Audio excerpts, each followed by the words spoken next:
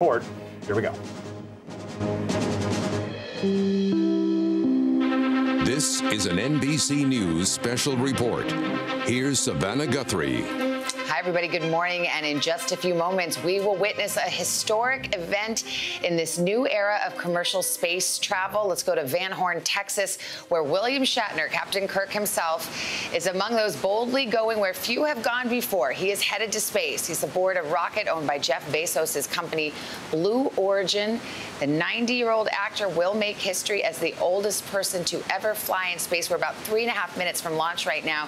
He is part of a four person crew that loaded into the capsule just a few mo moments ago, ready to blast off from this launch site in West Texas in just a few minutes. We're about 30 seconds. There have been some holds this morning, so they're a bit delayed, about 45 minutes delayed, but we're about to watch it happen. And I want to bring in Tom Costello, who covers space and aviation for us. And Tom, give us a sense of what these astronauts can expect today? Well, they, within two minutes of launch, so two to three minutes once they're off the uh, actually off the tower, they're actually going to have a, a, a, separation from the rocket. The capsule will be separated from the booster rocket. The spaceship will continue on towards its apogee, hitting a height of about 62 miles up over that Kármán line, the delineation uh, internationally recognized for space. And that's when they will get that three to four minutes of weightlessness. And that's about it, right? Three to four minutes of weightlessness before the capsule capsule starts coming back down again, descending under parachutes back down to Earth. So the total trip here is 11 minutes. It's very similar to what they did in July on the first mission, but this one has Captain Kirk, and that's why we're here. 90 years old, and he tells me he's nervous about this. I said, wait a minute, you battled Romulans and Klingons. And he said, yeah, but this is real life. And he is nervous, but he's excited. Tom, we are in IRL, in real life, and this is about to happen. We're just a few moments from launch. Uh, that's the launch pad. Now, this is a capsule, and we're starting to see some movement here that will be released from a booster rocket the booster rocket will then land back to Earth while the capsule, as you mentioned, is catapulted past the Kármán line. Remember that? That is the internationally recognized place where space begins. And they will feel that zero gravity. And what a ride down as well, because then they're going to feel five times the, the, the, the feel of gravity gravity. Yeah, that's right. And the entire trip, I mean, I think we, we should underscore, comes right back down here to the same place where they lift off from. There's a landing zone not far away. Just as that spaceship is hitting the ground, retro rockets fire to give it a very gentle uh, settling down uh, into the desert sand here in West Texas. They have been practicing dozens of times over and over and over again, getting in and out of those seats so they don't get stuck unable to get back in the seats when they descend again. But what's so critical is enjoying those three to four minutes of weightlessness that they're promised. Eh, we're about a minute away from launch now, T minus one minute. I've always wanted to say that, Tom. But just so people are clear, the, the astronauts aboard this mission are not flying this aircraft. It's remote controlled in essence all control from the ground. And on board, you don't have any professional astronauts at all. They won't be astronauts until they go into space uh, in just a few minutes. We have about 30 seconds to go here. I want to bring in Mike Massimino, who is a former NASA astronaut, logged many hours in space. Just what these folks might be feeling in this moment as they're probably starting to feel a little rumble beneath them, Mike.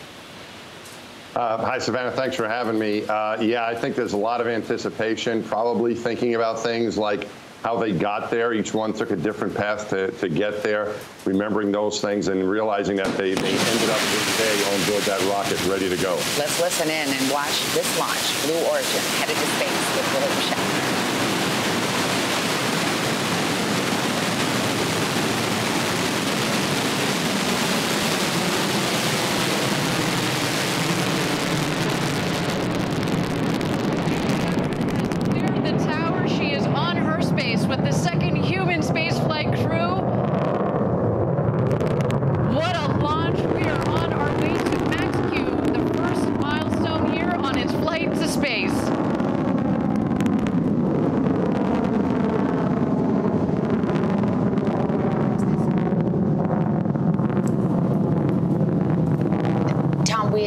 this trajectory, the boost booster and the capsule to last about three minutes or so? At the base of the screen as well. Yeah, actually, at two minutes, they have separation between the booster and the capsule. We have confirmed max Q. This is when the, the, the aerodynamic stresses on the vehicle were at their maximum.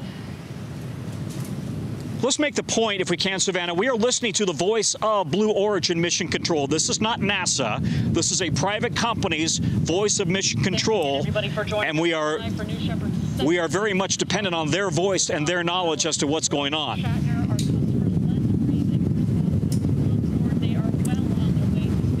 And the folks aboard that capsule have been prepped for all the bumps, all the feelings, all of the noises that they may be experiencing right now. That was part of their safety training, right, Tom? Thank you again, everybody, for joining us live That's for right. New Shepard's second human flight with Audrey Powers, Again, you're, William you're listening Shatner, to the, the, the voice of Blue Origin there. And on board, they are well on their way to space. So far, a nominal flight, a clean burn on our Blue Engine 3. New Shepard giving them a beautiful flight to space this morning. Nominal, The of course, is uh, NASA terminology, meaning it's all going great.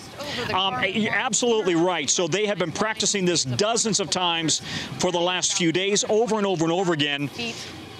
And listen, you know, at the age of 90, it's not necessarily easy to get in and out of that seat. That's what Shatner has been working on. Now we've had main engine cut off. The BE-3 engine has shut off. And in just a moment, we're going to separate the capsule from the booster. And at that point, our astronauts will have the opportunity to get out of their harnesses and enjoy the beauties of zero G. Let's wait to listen.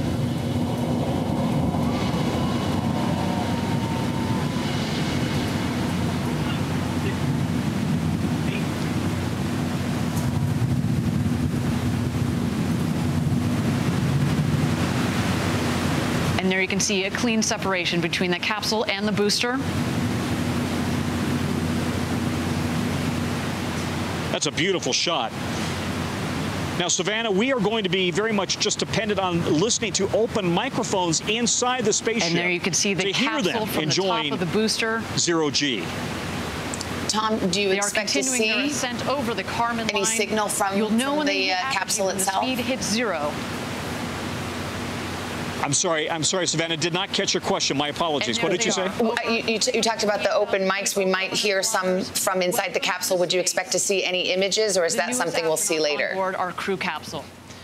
I- I- if it's if we follow the same script as in July, they provide most of those images after they're back down on Earth. So um, I think what we can bank on, hopefully, are is the live audio feed of them enjoying zero G, and then once they are back down on Earth, we should see those images released. Now the capsule is going about 65 But it's a very miles short up into, trip. The, into that. Very short. I was going to say, when you're riding a fast rocket, you get there quick. At about 350. Yeah, exactly. I mean, literally, it's an 11-minute trip, right? So they're they are uh, almost halfway through the trip already. Jackie, they are having the time of their lives. So we're getting the narration from the Blue Origin uh, official telling us what she must be seeing or hearing in terms of the crew now experiencing zero G, that kind of iconic moment that so many people dream of. Um, and they'll get to experience that for about three minutes. And in the meantime, Tom, that it's, it's fascinating and such a feat of technology. That booster rocket that carried them to this place will be landing almost a pinpoint landing so it can be reused again. It's exactly the the same technology in in some way, the same idea that SpaceX uses, Elon Musk uses to make SpaceX become a viable, uh, you know, alternative to essentially losing Thank you again, your booster uh, rockets as soon as you use them up. Texas. So far, So it will come right back down and land right back down here on Earth. You know, we should also make the point, Savannah, exciting, that this is now the 18th mission, the 18th mission to space. I for cannot wait to hear his commentary. Alan Shepard, the, the Return. New Shepard, I should say, the New Shepard rocket, named after Alan Shepard. From Australia. The last one had humans on it. This one has humans on it. All the others Shout out to were test flights. As well as Glenn DeVries and our very own Audrey Powers. Let's bring in Joan Higginbotham, also an astronaut who has spent hundreds of hours in space. And uh, Joan, you, you are one of the few that could describe how they might be feeling right now, experiencing zero gravity for the first time. Yeah, thank you, Savannah, for having me on. I just want to say hi to Mike Massimino, my classmate. So, um, if you're up there experiencing zero G, they're they're probably I would best say they're like a, kid in a candy store. It's uh, the first time you get to experience it is is a real treat. Um, you have no no choice but to float up to the top of the cabin wherever you are, um, and it's, it's just a thrill to be able to do things in a micro and grav- microgravity environment that you never get to do in your everyday life. Mm. And, and, Mike, uh, we'll bring you in here. And you can say hi back to your colleague Joan. But also, what is the view like up there? This is a suborbital uh, trip to space, so they're not in space orbit. What might they be seeing out that window? Well, first, hi, hi, Joni. Great to see you. Um, uh, yeah, they're seeing some things. You can kind of get an idea by, by, the shots we're seeing. One cool thing is the sky goes dark on you, even though it's, it, you know the sun's out. When you get above the atmosphere, you look at the stars and around you, and you see a, a, black sky. But looking back down on the Earth, yeah, they're not really that high relative to where the space station is. For example, they're 60 miles up, as Tom explained. You can see some detail, but you also can see, I think, from where they are, some you know the horizon uh, the, the beauty of the Earth. You don't see the borders. So you're seeing things with a much different perspective than anything you can get on Earth or even in an airplane. So it's, a, it's really a, uh, an awe-inspiring moment when you unstrap, float to the window, and this spaceship was meant for viewing the Earth with big windows and looking down at our, at our home. It really can be a, a life-changing experience, and I think it will be for each of them. And meanwhile, back here on Earth, Tom, correct me if I'm wrong, we just witnessed the return to Earth of that booster capsule about two miles from where it embarked a few minutes ago. They nailed the landing right on the money. We had a sonic boom here on the ground, and this is just amazing technology that they're able to bring that rocket booster right back down and uh, and nail it right here in the West Texas desert. So that is what's making this uh, economical for companies like Blue Origin, like SpaceX, to uh, be taking people into Earth, uh, back to I'm sorry, into space and back to Earth. And I'm watching now the feed of the space capsule now descending as well. There's a little bit of a lag time time before it hits uh, the, the air, but we are seeing now the space capsule underneath parachutes. It too is now starting to descend down to Earth. So all of this appears to have gone absolutely perfectly so far, as the feed will very quickly now switch over to the spaceship. So here's the capsule. Our astronauts are aboard, and we can call them astronauts now because they've been to space. And this is, they describe it as a high-speed plunge back to Earth, at least before the parachutes are deployed. And your body has to be able to withstand 5G, five times the force of gravity. Uh, we'll turn to our astronauts for this. Mike Massimino, I'll start with you. What does that feel like? I mean, that's got to be pretty tough on the body. Some people can get that tunnel vision. Some people pass out. Uh, what would you expect? Well, I, I, think they'll be fine. The way that the spacecraft is is designed, they have these seats. You're recumbent. You're laying down. So whatever any G forces you take, you're going to take those in the chest. But that's why it's really important to be strapped back in into the seat. And we talked about getting out and getting back in. You want to be back in your seat and lying down in that seat to protect you from those Gs. It'll be a little uncomfortable. I felt like we took up the three Gs on launch, for example. I felt like there's, you know, three times your body weight. I felt like there were three big dudes sitting on me. That's what it kind of felt like. And then, it, and then it subsides. But it's interesting because they've been weightless for a little bit. And so whatever Gs they take on the way down is going to even be amplified because after you float for a little bit and you get used to zero gravity, even a little bit of G feels like a lot. You see they're about, I would say about 90 seconds or so from making that landing. Joan, uh, what do you imagine is going through their minds right now? I mean, that was a very quick trip.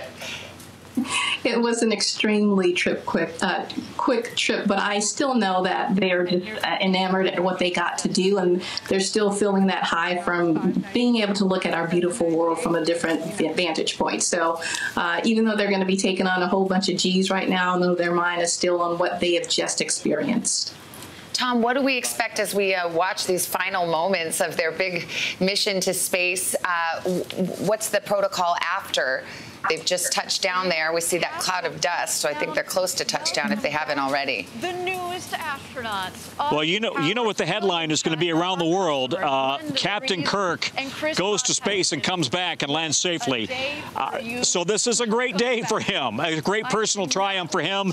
And, and let's be candid, it's a big and a, and a great day for Blue Origin as well. Now they will be on the ground for about 22 minutes before they will pull them or, or help them get out of the uh, capsule. They need to make sure that that the entire vehicle is off gassed, if you will. You get rid of all the potentially uh, dangerous fumes and gases. But this just has gone perfectly. And there was a quote, by the way, on Twitter from William Shatner.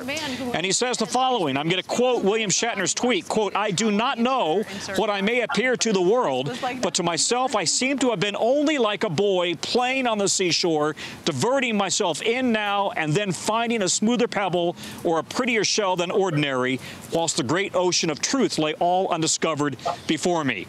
So I think he's trying to wax poetic. I suspect he actually composed that e that tweet before he went up, and then he hit the send button. But I think so. Uh, William Shatner is already tweeting. I'm being told, and uh, I, I, confess to not knowing this off the top of my head, that it's a quote of Sir Isaac Newton, which of course is poetic uh, in its own right. But um, yes, I, he, it was a pre-programmed tweet that got sent, so we'll have to get the off-the-cuff response from William Shatner and his the fellow passengers. One of them is a Blue Origin uh, employee, and then the other two are paying customers. And Tom, this isn't a cheap ticket.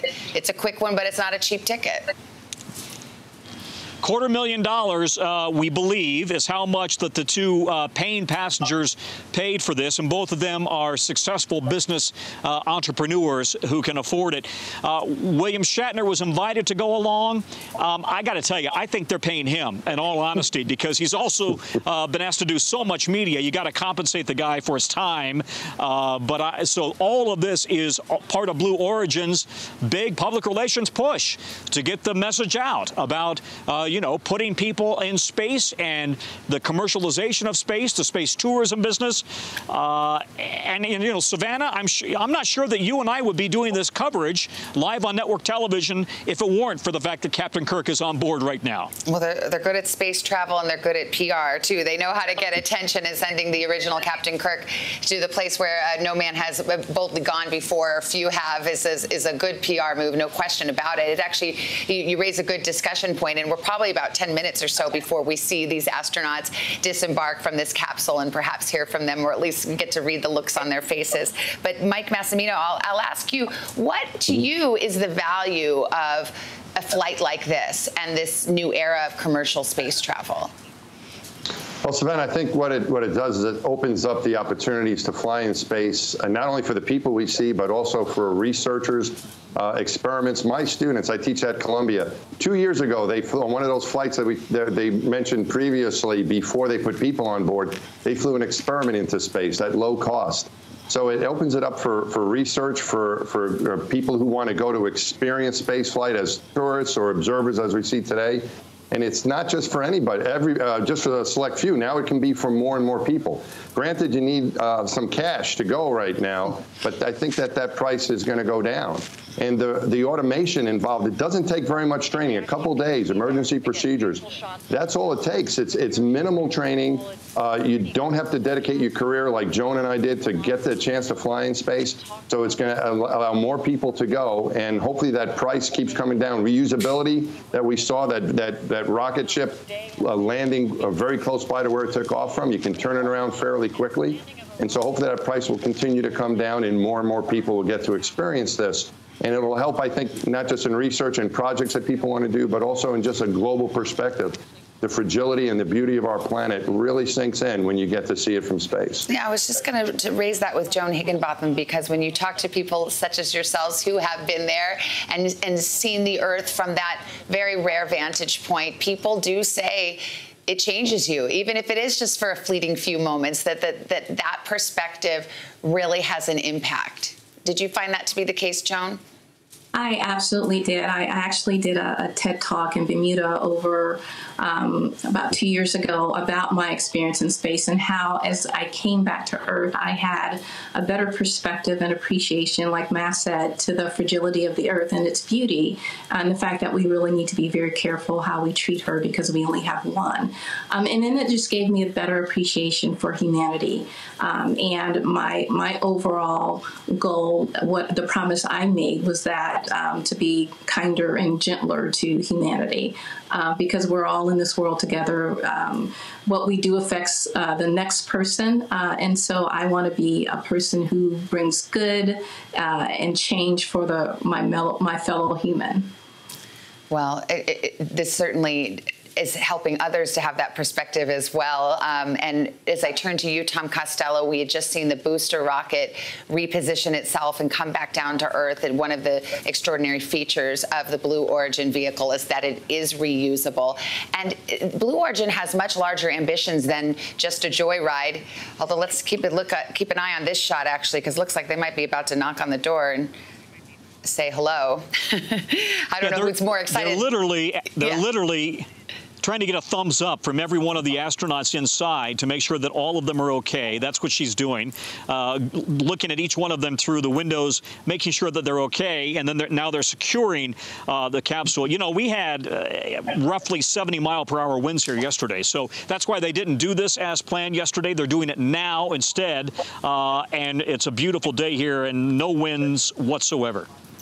And so now we'll see this how they're able to disembark. And the wires are quoting Shatner saying that was unlike anything they've described. So I, I, think we'll hear more from him and from all of those who've had the experience of a lifetime as they take these few minutes to open the doors. And we'll see what our, our first few uh, seconds with them are. Would you expect with that brief time in space, Mike, that they'd have, you know, that the sea, they wouldn't have their sea legs, that they might feel a little jiggly or woozy or dizzy?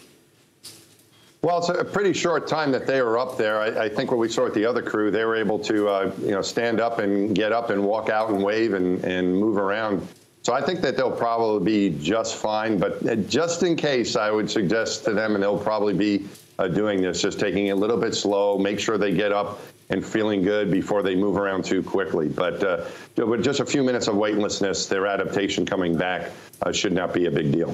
Tom, we were just starting to talk about it, but I know we're keeping our eye on um, this capsule because we want to see those first images. But Blue Origin does have much larger ambitions. Tell us about that.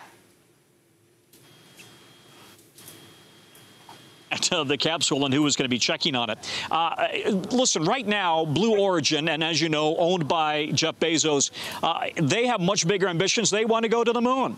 Uh, they are in a, a, fight back and forth with Elon Musk and SpaceX over getting to the moon and setting up a moon base and providing the infrastructure and the rockets to get there. Uh, NASA, though, has awarded SpaceX the lunar contracts, not uh, Jeff Bezos and not, of course, uh, Blue Origin. And that has been been a big bone of contention. Uh, Bezos, you know, even threatening legal action against NASA. Uh, and then you had, for example, Elon Musk telling Bezos you can't get to, to the moon by suing your way there. Mm. Uh, real competition between Jeff Bezos and Elon Musk. But at the moment, at the moment, Elon Musk and SpaceX have the NASA contract to try to go to the moon, uh, to create and build a moon base, to provide the rockets to get there. SpaceX at the moment, uh, pardon me, uh, Blue Origin at the moment does not not. I wouldn't give up on that, though. The infrastructure they have built here in the desert, I'll just tell you, Savannah, this is not fly by night. Mm. Uh, they have built a tremendous infrastructure. They are planning to go long and deep and for the long term. I don't know if you were able to keep your eye on the images as you were talking with us, Tom, but it looked like Jeff Bezos kind of knocking through the windows. I don't know. Is it? Is that who you think that was? It certainly looked like it to me, but it was hard to make out. I, I didn't get a clear view on my screen, but uh, that would make sense. I know that he is doing everything he can to be there and uh, be a part of this. He even threat. He even told me last night he was tempted to stow away and be and take one of the extra seats that was not taken, but clearly he decided to stay on the ground. Oh, and they received letters from the, the previous um, passengers, astronauts on the first Blue Origin flight, and they were said, "Oh, you're so lucky. We wish we could go back again." So I guess it's a little bit like a roller coaster that you wish you could go right back on and ride again the minute you land. I think you're absolutely right. Everybody who's done this has the same experience, whether you're on one of these types of uh, quick trips as a tourist or you're a NASA astronaut who goes to the station. How many times have you heard NASA astronauts say they spent three, four, five months up there and they can't go wait to go back? It's such a different experience, a life-fulfilling experience. Uh, but it is astonishing how three to four minutes of weightlessness will completely change your viewpoint. And I'm now looking at, and you're going to see it in a second here, Bezos, it appears, is opening the hatch. Let's keep our eyes Again, peeled. thank you everybody for joining us live from West Texas at our launch site one. Our second human space flight crew has gone to space and back up over the Kármán line, just over 351,000 feet. We're awaiting Jeff Bezos, who is now opening the hatch. Yes. Hello, astronauts.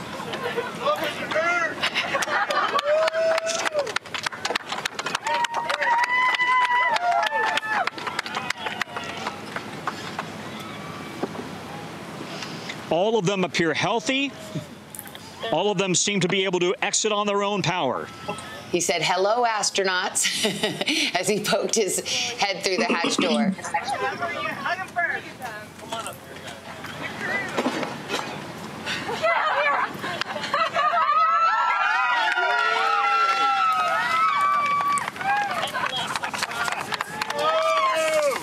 There's Audrey Powers. A big hug from her sister. Audrey Powers, the Vice President of Mission and Flight William Operations at Blue Origin, the only Blue Origin employee. And there it is. Our customer, Chris Boshuizen, the first full Australian citizen to go to space and back. And Glenn DeVries. Oh.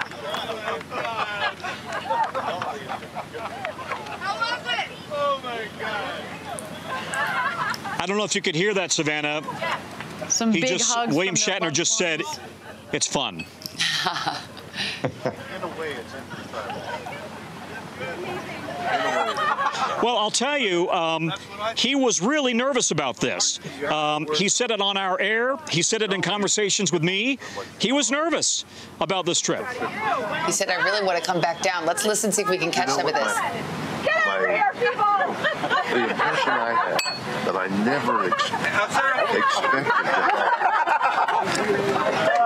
is you're shooting up. Oh my God. Give me a This champagne sky. bottle. Come here. I want one. I told I want to hear this. Here. You want a little of this? Okay.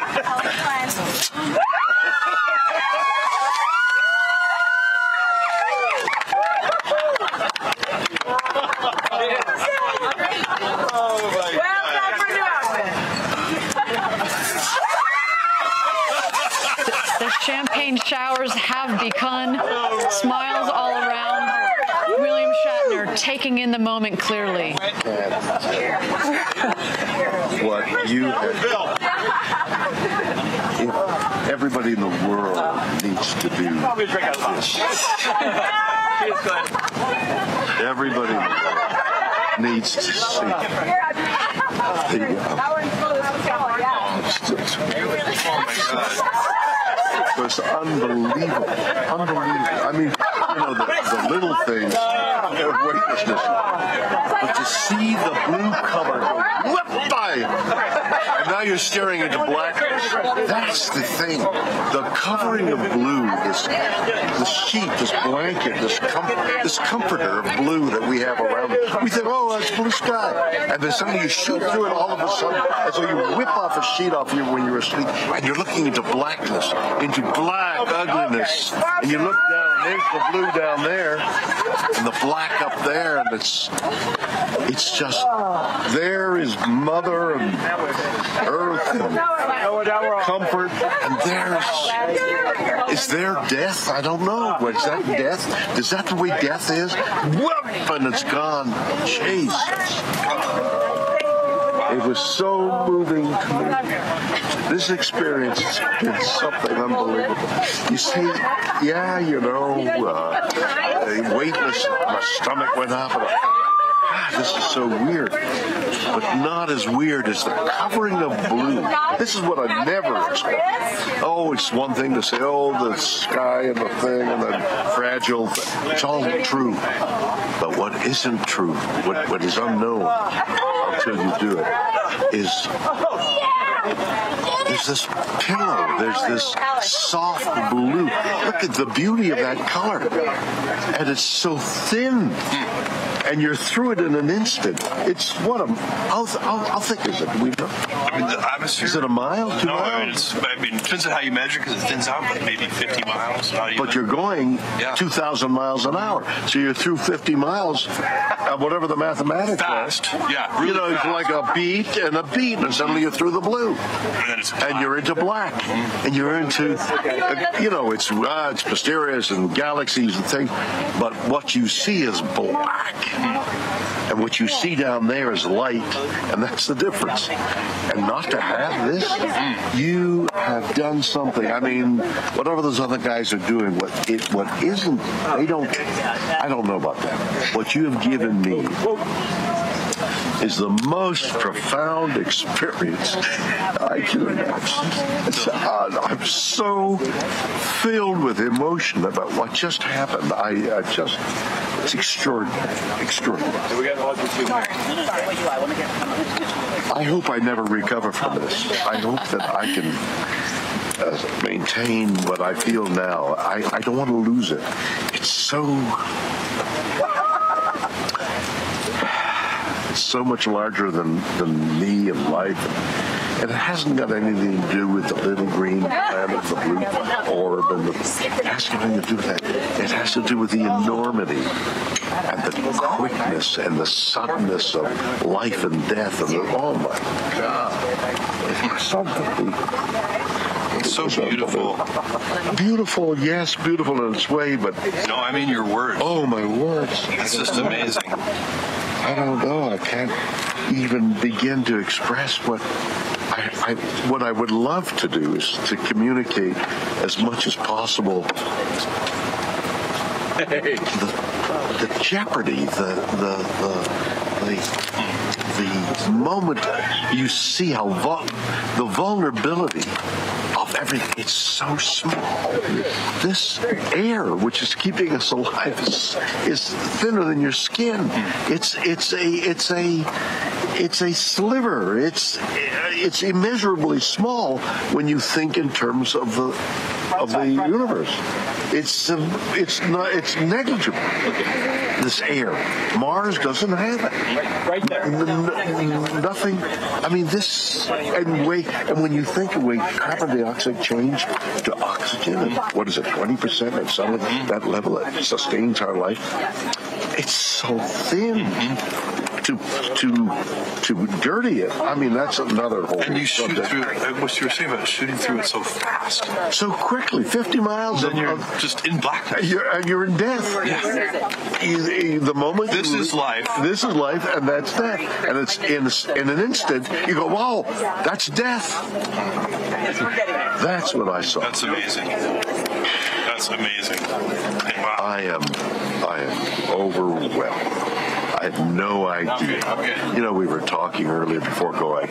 Well, you know, it's going to be different. Go, yeah, it's going. to... And you have whatever that phrase is you have that you have a different view of things. Uh, it doesn't begin to to uh, explain to to to describe what what a what for me. I mean, everybody's going to, but it, and this is now the commercial. Everybody, it, it would be so important for everybody to have that experience through one means or another. I mean, maybe you could put it on 3D and wear the goggles and have that experience. I mean, that's that certainly is a technical possibility. But, what you need also, we're lying there in, and I'm thinking, listen, one delay after another delay, we're lying there. And I'm thinking, how do I feel? And I'm thinking, yeah, I'm a little jittery here. And, and they move the pins. Oh, oh, there's something in the engine. They found an anomaly in the engine. They found an anomaly in the engine. We're going to hold a little longer. Oh, you're going to hold a little longer.